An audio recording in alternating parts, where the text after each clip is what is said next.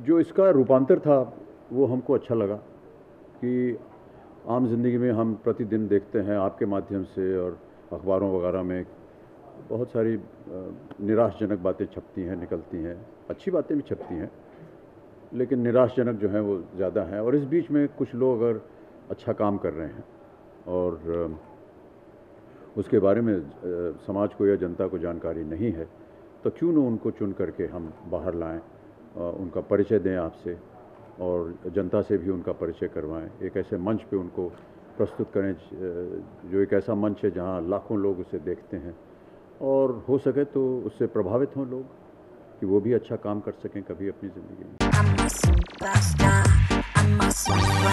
में